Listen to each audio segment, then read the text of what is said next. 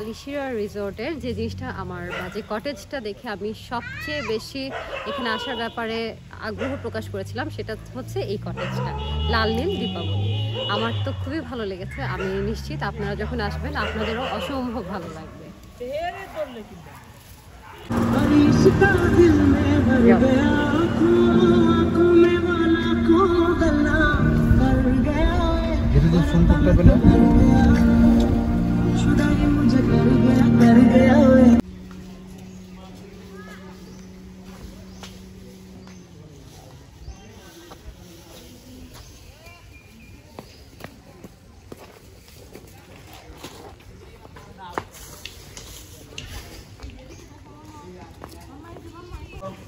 এইসব দিন রাত্রি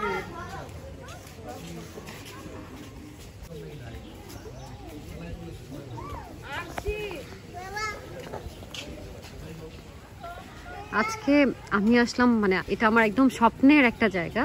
কিছু জায়গা বলে না, একদম ড্রিম প্লেস তো এই ভালিশিয়া রিসোর্টটা ছিল আমার জন্য একটা ড্রিম প্লেস আমি প্রথম যেদিন হচ্ছে এই রিসোর্ট মানে এই বালিশিয়া রিসোর্টটার ছবি দেখেছি, সেদিন থেকেই মানে আমি কেন জানি না, আমার অসম্ভব রকম ভালো লেগেছে। এবং তখন থেকে আমার প্ল্যান ছিল যে ইনশাল্লাহ আমি কোনো না কোনো একদিন অবশ্যই এখানে আসব।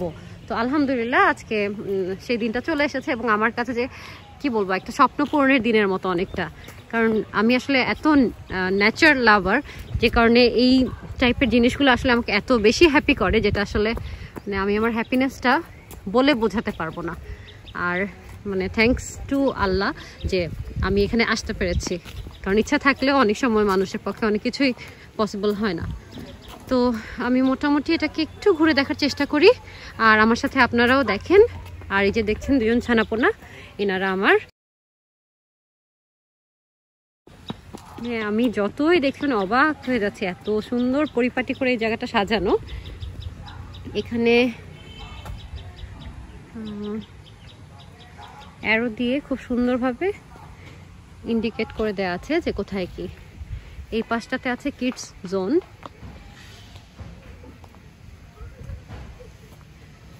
এটাও বেশ সুন্দর একটা প্লেস বাচ্চারা খুব সুন্দরভাবে ঘুরে ফিরে দেখতে পারবে। অসম্ভব সুন্দর জায়গাটা।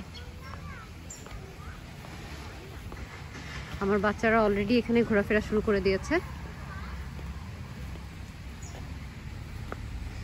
আমি এর আগে ঢাকায় ঢাকায় ঠিক না অ্যাকচুয়ালি এটাকে বলে গাজীপুরে। গাজীপুরে ভাওয়াল রিসোর্টটাতে গিয়েছিলাম। তো সেই ভাওয়াল রিসোর্ট অ্যান্ড স্পাটাও কিন্তু এরকম ইয়ে ছিল। এরকম ব্লক দিয়ে করা ছিল। এখানে যেটা আপনারা দেখতে পাচ্ছেন ম্যাটেরিয়াল যেটা ইউজ করা হয়েছে, এটা কিন্তু ইট না, এগুলো হচ্ছে ব্লক বলা হয়। হ্যাঁ এই এই ব্লকগুলো দিয়ে করা ঘরবাড়িগুলো দেখতে অন্যরকম লেভেলে সুন্দর হয়। আমার মনে হচ্ছে আমি লাল, নীল, দীপাবলি, এই যে দেখেন, এইটাই ছিল আমার মোস্ট প্রবলি এই, এটার ছবিটাই আমাকে খুব বেশি অ্যাট্রাক্ট করতো। এটাই সম্ভবত সেটা। ইফ আম নট রং আপনারা দেখেন, এক দেখায় ভালো লাগার মতো একটা জায়গা, তাই না? অসম্ভব সুন্দর অসম্ভব সুন্দর। মানে আমার, কি বলব, আসলে আমি এত happy I can describe my happiness that how happy I am হ্যাঁ। অসম্ভব সুন্দর অসম্ভব সুন্দর। আমি জানি না ভিডিওতে আমি কতটা দেখাতে পারছি। বাট ইনশাল্লাহ I will try my best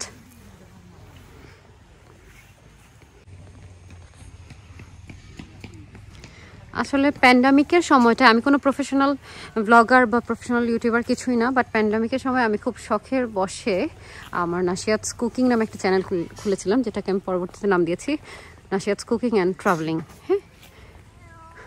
তো সেই শখের বসেই করা।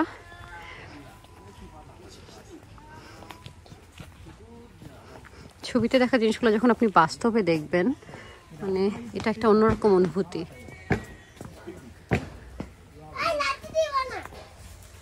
এটার নামটা সম্ভবত অরণ্যের দিন রাত্রি নামগুলো অসম্ভব সুন্দর।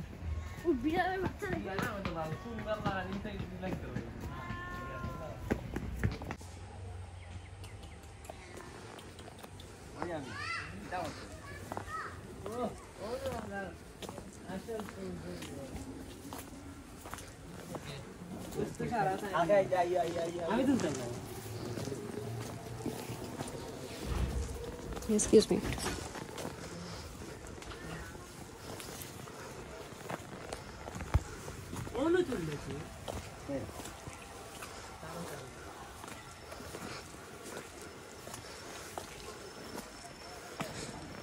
এদিক দিয়ে সম্ভবত এটা এন্ডিং পার্ট হয়তো আরও অন্যান্য অংশগুলো আছে। আমি এখানে আপাতত মনে হচ্ছে এই পাশের সীমানাটা সম্ভবত এখানে শেষ। যেহেতু একটা দেখতে পাচ্ছেন আপনারা, বেড়া দিয়ে গেটের মতো করা আছে।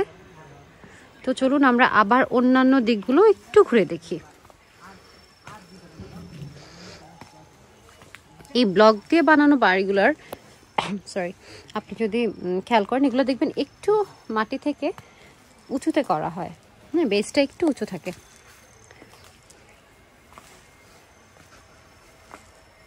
হ্যালো না একদমই পাত্তা দিচ্ছে না।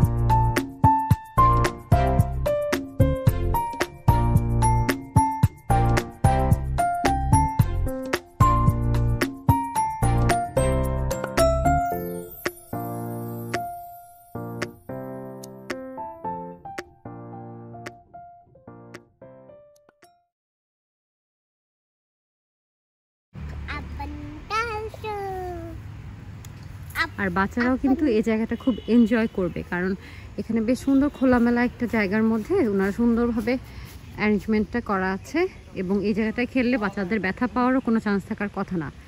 কারণ এত সুন্দর সবুজ ঘাসের উপর বাচ্চারা খেলাধুলা করবে। অসম্ভব সুন্দর। অসম্ভব সুন্দর। যাদের আপনাদের ছোট বাচ্চা কাচ্চা আছে তারা এই জায়গাটা চাইলে আসতে পারেন। আর মন ভালো হয়ে যাওয়ার মতো একটা জায়গা নিঃসন্দেহে। এত পরিপাটি, এত পরিষ্কার পরিচ্ছন্ন, সাজানো গোছানো। আসলে বারবার আমি হয়তো একই কথাই বলে যাচ্ছি। এত ভালো লেগেছে আমার জায়গাটা। এখানে দোলনা দেখতে পাচ্ছি। আমি একটু দোলনাটার দিকে যদি যাই, সব জায়গাতেই আপনারা দেখবেন, ছোট, বড় যেই হোক, দোলনা পছন্দ করে না বা দোলনা দেখার পর একবারের জন্য সেই দোলনা চড়বে না, এটা হতেই পারে না।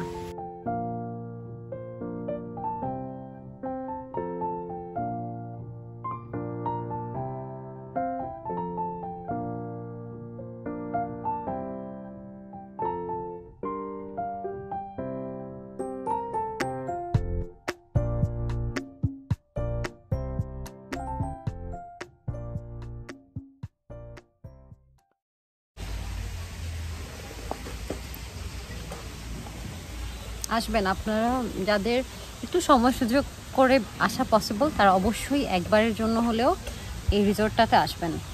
এখানে আমার কোনো পার্সোনাল বেনিফিট নাই এটা বলাতে। এখান থেকে বালিশিয়া থেকে আমাকে কোনো অফারও করা হয়নি বা কিছুই না। আমি আমার একমাত্র, আমার মনের যে ফিলিংসটা সেটাই আপনাদের সাথে শেয়ার করছি।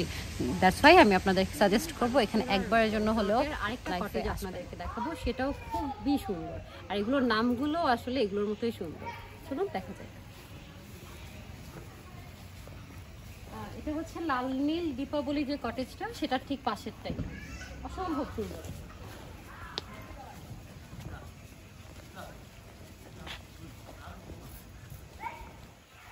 গোলাপি জবা। অসম্ভব সুন্দর, তাই না? আসলে আমি যা দেখছি তাই আমার এত ভালো লাগছে। আসেন, আমরা একটু সামনে এগিয়ে দেখি।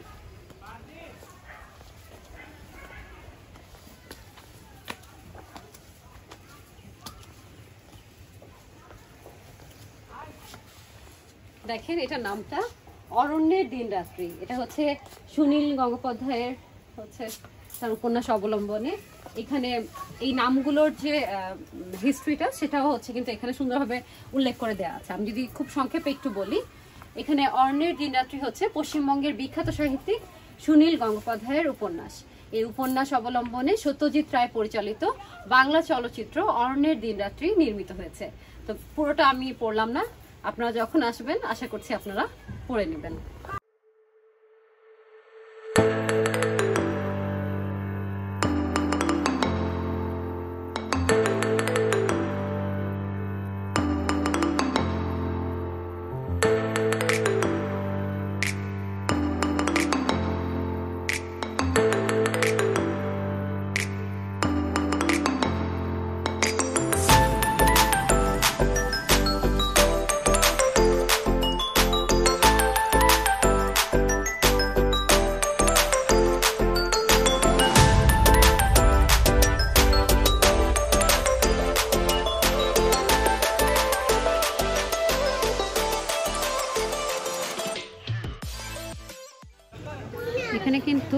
দোলনা এমন একটা জিনিস যে ছোট, বড় সবাই এই দোলনা চড়তে পছন্দ করেন। এই যে ওনারা থেকে দেখতে পাচ্ছেন, ওনারা নামার পর আমি টার্গেটে আছি, ইনশাল্লাহ ওখানে যাব।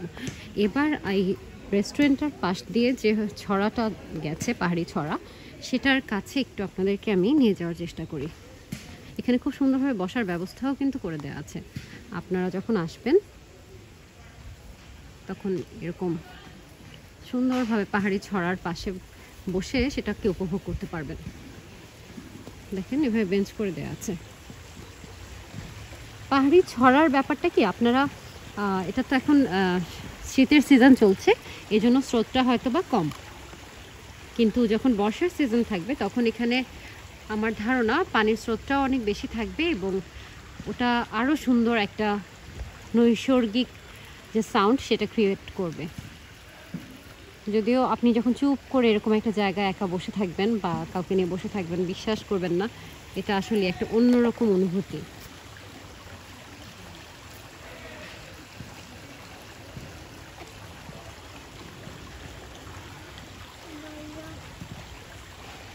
Papi,